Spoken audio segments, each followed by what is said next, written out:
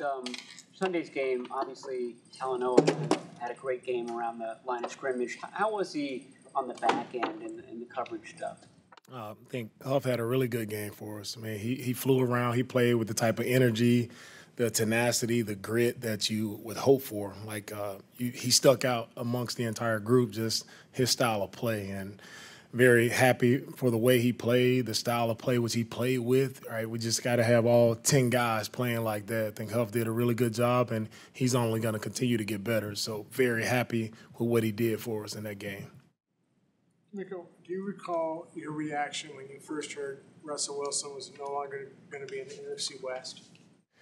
I mean, just everybody, just probably similar to everyone's reaction. It was just, you know, shocking. You see a guy who's been with the team for so long and has had so much success there in Seattle. So it's just, it's a little weird, like seeing him Monday night, seeing him in a different jersey. It is a little weird, but, uh, you know, I think everybody had that same kind of reaction. So nothing, nothing different there for me as well. Was any part of you happy? I wouldn't say happy. I mean, it's I mean, it happens all the time. For me, been in the league for a long time, so guys change team, guys move to different places. So for me, it's you know whoever we play really doesn't matter. Russell leaves the NFC West, and we still have to play against him. So it's really not that big a deal for us.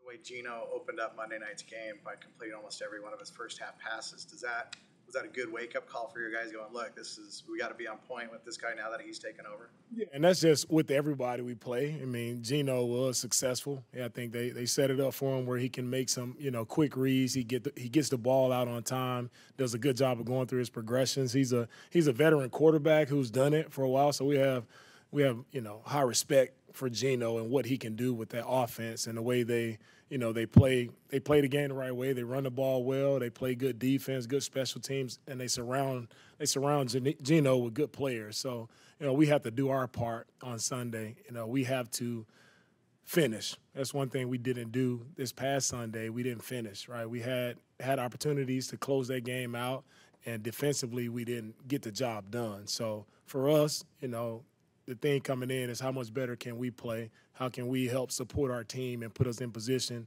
to win the game? How did you think Javon Kinlaw did the other day? Yeah, and Kinlaw did really well. I mean, to start the game off, to get pressure on the quarterback, to force an in there throw. Uh, Kinlaw was actually played with great pad level. I think he was he's doing a really good job inside, you know, and, and he played well for us. And you know, Kinlaw is another guy who will continue to get better as he continues to play. So I'm uh, happy with where he is. He did a good job for us on Sunday.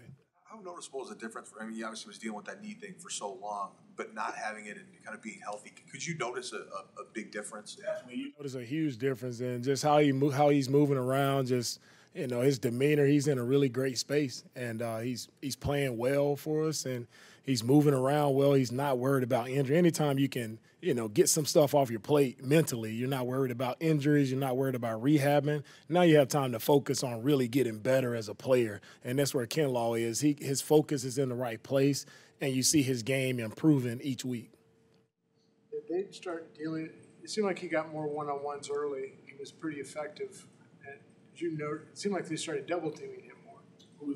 Say it again, Miss. Uh, I mean, being an interior guy, sometimes the way they slide to you, right? The way they're sliding their fr- sliding the line. Sometimes he's just in that position where he's gonna be double based on the protection that the offense is giving us.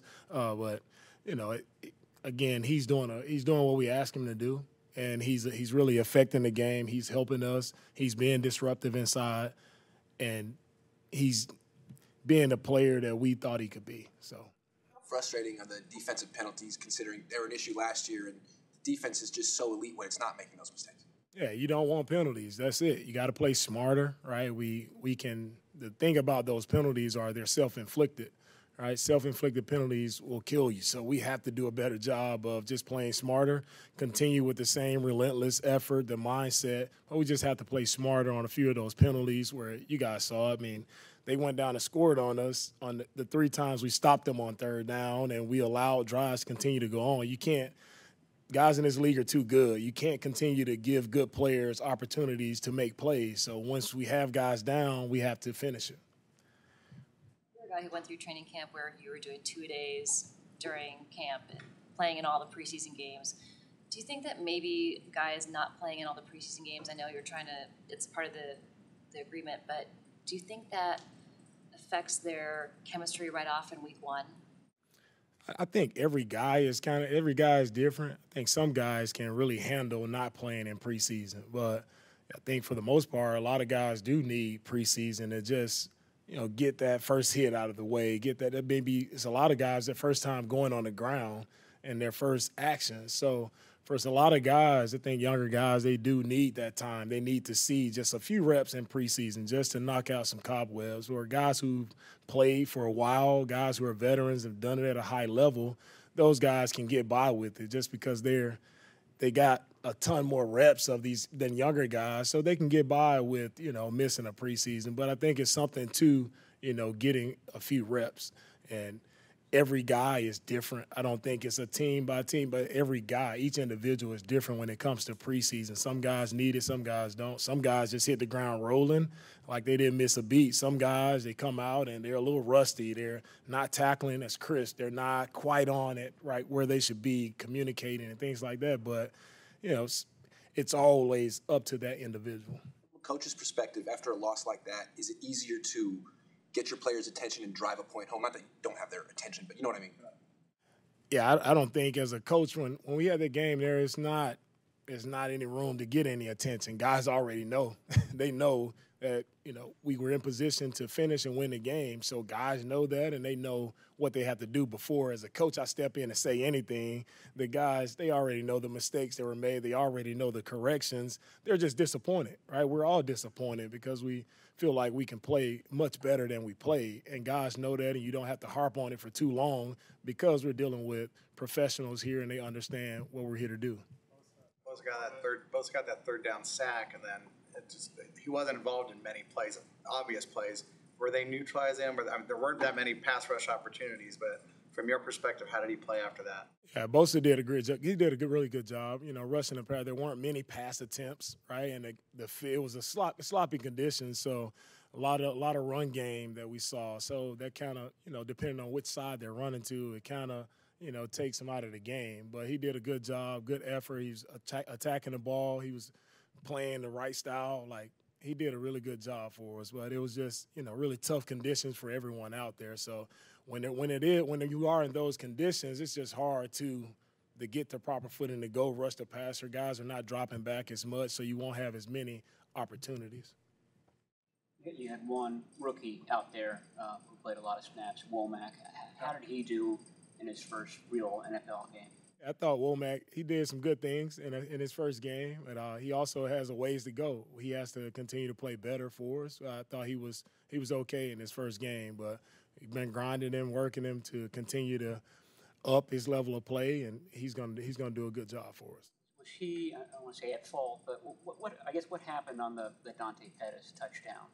Uh, was just a breakdown in coverage. I think you're playing uh, when you play a quarterback like Justin Fields, a quarterback who's going to scramble, move around in the pocket. We all knew that, but one thing you can't do is the quarterback hasn't crossed the line of scrimmage.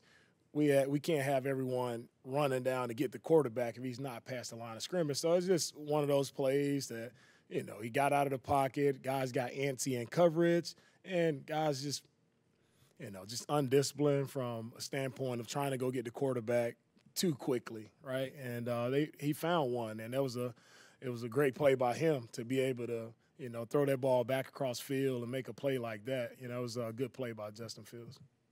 You always expect your guys to play well and keep it clean in every game, but do you kind of attribute it just to being week one as part of kind of getting back into it? I I don't. I don't. I think you know we've had a lot of reps of training camp. We've had preseason games, so I don't attribute it to it being week one. I think week one you should come out and the focus has always been on your your fundamentals and technique. That's the things you have to rely on in week one. And we did that for the most part. Our guys, they played their butts off for the most part. They they played outstanding.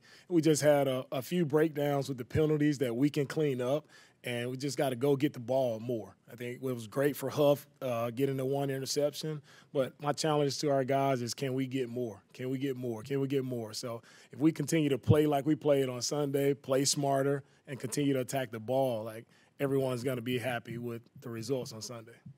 All right. Thank you.